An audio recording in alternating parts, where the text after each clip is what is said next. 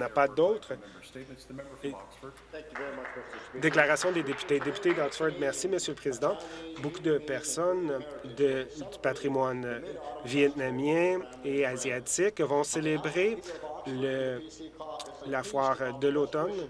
Je voudrais accueillir et euh, souhaiter à euh, euh, tous ceux qui sont en train de célébrer le festival de l'automne c'est un euh, événement où euh, les gens reconnaissent euh, la bonne récolte et les, amis, ainsi que de pouvoir se réunir avec tous leurs parents. Je voudrais aussi, je vais aussi avoir une réunion avec mes commettants de la communauté taïwani, du Taïwan.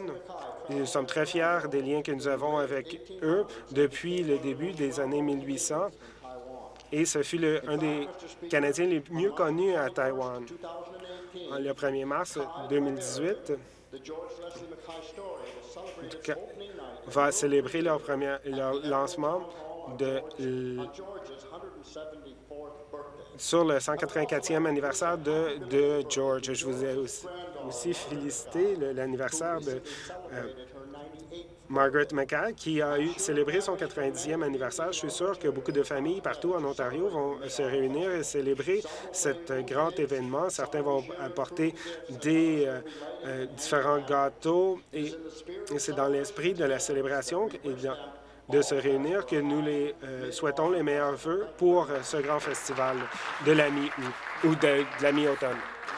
D'autres déclarations? Euh, député d'Oshawa, les gens partout dans la province euh, se posent la question à pourquoi Mme Betsy DeVos va venir ici et savoir pourquoi le gouvernement va accueillir cette personne qui tente de miner l'éducation publique aux États-Unis. Betsy DeVos fait partie d'une administration qui ont réduit les protections pour les étudiants trans. Ils ont aussi des protections pour la population LGBTQ. elle a réduit des millions de dollars dans le budget de l'éducation et s'attaque aux droits des étudiants. Je comprends qu'on veut bâtir des relations commerciales. Comprends qu'elle a un, grand, poste très important aux États-Unis. Oui, ayez vos euh, votre réunion, mais on ne doit pas l'accueillir avec euh, les bras ouverts. On doit s'assurer que le système scolaire en est un qui est ouvert aux étudiants et qui permet à tous les étudiants d'apprendre. Je vais toujours défendre l'éducation accessible et inclusive qui permet à tous les étudiants d'avoir un meilleur avenir le gouvernement libéral sous-finance nos étudiants et notre système scolaire. Ils ont vendu Hydro One, ils sous-financent nos étudiants qui ont des besoins spéciaux et nos écoles méritent mieux. Les éducateurs de l'Ontario et les, les étudiants sont incroyables. Je m'inquiète non pas de de euh, l'influence que nous allons avoir sur elle, mais plutôt de son influence sur nous. Et l'éducation publique ne devrait pas être à vendre. Député de Kitchener Centre. Merci, Monsieur le Président. Dans ma déclaration aujourd'hui, je voudrais rendre hommage à deux de mes concitoyens, David Hollinger et David Gibbons. La fin de semaine dernière, au club de, de Serviceable, il a reçu un prix au service de l'humanité. C'est quelqu'un qui a toujours été prêt d'aider les autres et d'inspirer les jeunes. Il a servi au conseil d'administration pour le collège Conestoga, ainsi qu'il a levé des fonds pour des organismes de bienveillance. Il a pris sa retraite, mais il est toujours bénévole pour One Roof à Kitchener. C'est un centre pour les jeunes en crise. Il aide aussi à coordonner le Festival des Lumières dans notre collectivité. Il passe au moins 600 heures par année euh, en tant que bénévole à ce festival. Doug Gibbons aussi a aussi été honoré cette fin de semaine en étant l'homme de l'année de Saratoga. Il, a aussi été entraîneur pendant plus de 20 ans euh, au patin de vitesse. Il a aussi été euh, président de l'association du bingo. Ce sont des gens qui permettent de bâtir la collectivité, qui font en sorte que Kitchener-Waterloo est un si bel endroit où vivre. Je voudrais les féliciter et j'ai le plaisir de leur rendre hommage ici aujourd'hui. Merci, Monsieur le Président. D'autres déclarations des députés? Député de Carlston, Mississippi Mills. Merci, Monsieur le Président. Cette déclaration est au sujet de la vente de la marijuana, le, Parti du Trillium, nous comprenons que les petites entreprises sont euh, l'échine dorsale de l'économie de l'Ontario. Nous savons que euh, ils créent plus de 75 à 80% des emplois ici en Ontario, les petites entreprises. S'ils ont du succès, l'Ontario a du succès. Nous nous opposons à la vente de la marijuana de par euh, un magasin tel que celui du LCBO.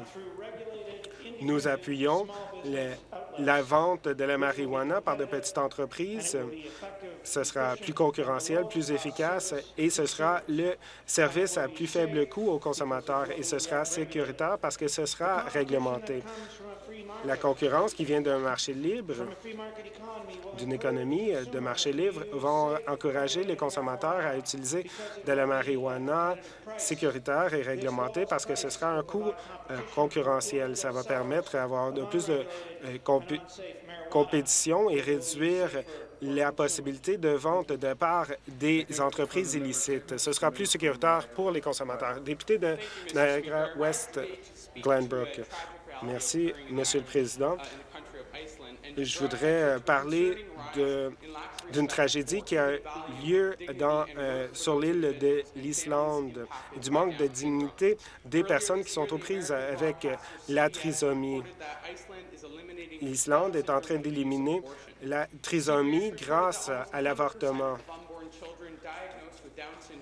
80% des euh, enfants qui sont touchés par la trisomie sont avortés. La réalité, c'est que l'Islande n'est pas en train d'éliminer la trisomie, mais plutôt d'éliminer, de tuer les gens. J'ai eu l'occasion de parler au euh, euh, l'organisme de, protection des, personnes là-bas et des gens aux prises avec la trisomie en Islande. J'étais fier d'avoir des réunions avec eux et de parler aux gens et aux parents qui sont aux prises avec la trisomie. L'article CBS a démontré ce qui a lieu en Islande et pose la question dans quelle société voulez-vous vivre? Moi, je connais ma réponse. Je connais, je sais que euh, je veux vivre dans une société où les gens qui sont aux prises avec la trisomie sont reconnus sont protégés, sont reconnus en ayant leur euh, propre perspective et sont euh, vus en étant des égaux au sein de la société. Veuillez vous joindre à moi à cet égard. Député de Windsor-Ouest, merci, Monsieur le Président.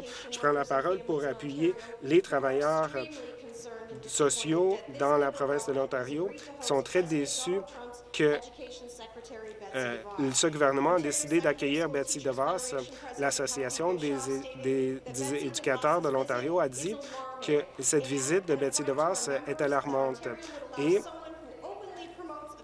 de permettre à une personne qui permet de s'attaquer à l'éducation publique de venir visiter les écoles ici dans la province. C'est insultant envers les éducateurs de l'Ontario. Nous savons que Mme DeVos croit dans des écoles qui sont euh, financées par le privé. Nous n'allons jamais appuyer cette initiative. Elle s'en est pris aussi aux étudiants trans. Pourquoi est-ce que les écoles de l'Ontario, les travailleurs, les éducateurs puissent accueillir quelqu'un qui est si à l'encontre des valeurs que nous tenons euh, tient tellement à cœur? Moi, je suis contre cette décision du gouvernement libéral. Pourquoi est-ce qu'on exposerait les étudiants ici qui n'appuient pas, qui ne militent pas pour les valeurs euh, qui sont si chères à nous, telles que l'égalité et la dignité de chacun. Elle il devrait annuler l'invitation à Mme DeVos. D'autres déclarations de députés. Député de Scarborough et Cork. Je voudrais reconnaître le 50e anniversaire de la République de Chypre. C'est un petit pays de la Méditerranée avec près de 80 000 citoyens. L'amitié entre nous et eux remonte à plusieurs années lorsqu'on a... La, Chypre a demandé à ce qu'on euh, puisse créer une euh, mission de casques bleus des Nations unies. Alors que nous célébrons cette journée nationale de Chypre, nous devons aussi nous rappeler des sacrifices des 88 casques bleus du Canada qui ont euh, mené des efforts pour apporter la paix en Chypre. C'est une journée qui permet de reconnaître le, le tissu social, de promouvoir l'Ontario, cette communauté de Chypre. Nous allons lever le drapeau de Chypre demain à Queen's Park le 5 octobre à midi. Il y aura plusieurs invités, tels que le haut-commissaire de Chypre à Ottawa. Je voudrais remercier tous mes commettants, Christina Galis, le président de la Fédération de euh, du Canada pour avoir organisé cette journée nationale à Queen's Park et pour les 50 années d'amitié entre nous et la République de Chypre. Et je voudrais aussi souhaiter mes meilleurs voeux à toutes les personnes qui célèbrent cette grande journée aujourd'hui. Député de Nipissing-Pembroke, en 1967, le Collège Algonquin a accueilli leurs premiers étudiants.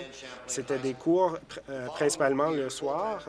La suite, l'année suivante, il y a eu 49 étudiants en administration des affaires, en architecture et autres.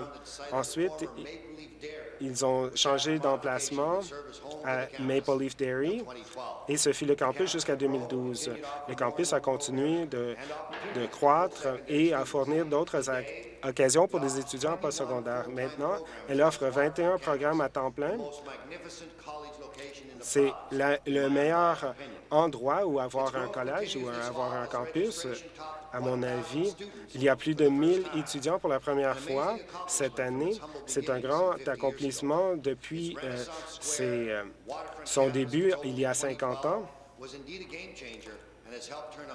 Ça a permis à faire en sorte que Algonquin-Pembroke est, une destination de choix. Ils ont construit aussi trois résidences qui fournissent 170 espaces. Approximativement 50 des étudiants viennent de l'extérieur de la région de Renfrew-Pembroke.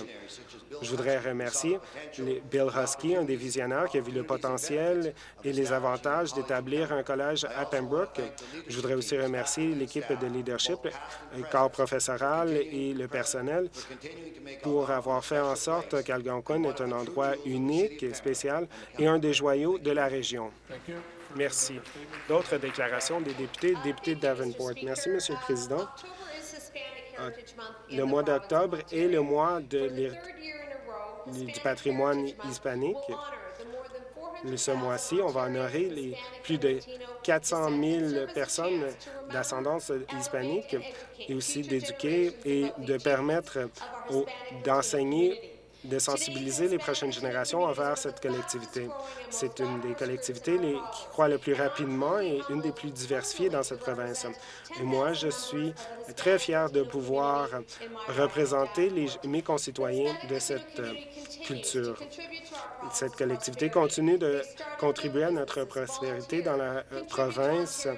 Il contribue à notre patrimoine culturel et artistique projet de loi 28, le premier j'ai déposé en tant que député pour euh, proclamer le mois d'octobre en étant le mois du patrimoine hispanique. Et en le faisant, la province reconnaît la grande contribution des gens de cette culture à notre tissu social, euh, économique et culturel. Je voudrais que tout le monde puisse me, se joindre à moi pour euh, avoir une réunion pour démontrer les œuvres d'art de la communauté, ainsi que de reconnaître le troisième mois de la culture hispanique ici en Ontario. J'ai été très ravi de pouvoir faire en sorte que ce soit une réalité ici en Ontario et je voudrais accueillir tout le monde pour participer dans ces activités culturelles dans la province. Merci beaucoup. D'autres déclarations de députés? Député de Scarborough-Rouge. Rivière-Rouge. Merci, Monsieur le Président. Je prends la parole aujourd'hui pour célébrer le festival du, euh, de la mi-automne. C'est célébré le 15e jour du huitième mois. C'est une célébration qui euh, remonte à il y a 3000 ans, lorsque ça, ça coïncidait avec euh, la récolte de l'automne. C'est célébré avec les gens de la Chine, la Corée, le Japon, l'Indonésie et le Taïwan. La pleine lune, c'est un symbole de la paix, la prospérité et de, pouvoir se réunir avec euh, nos parents. Ils visitent leur terre ancestrale et mangent différents euh, repas traditionnels composés de riz et d'autres mets de manger des gâteaux de, de lune. C'est une des grandes traditions associées à ce grand festival. Monsieur le Président, je demande à tous les députés dans cette Chambre de se joindre à moi à célébrer ce grand festival. Encore une fois, réunissons-nous pour lancer un message que la, la diversité fait notre force ici en Ontario.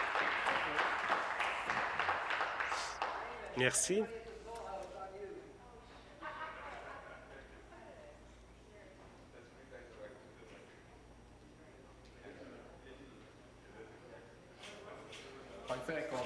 Je remercier tous les députés de leur déclaration.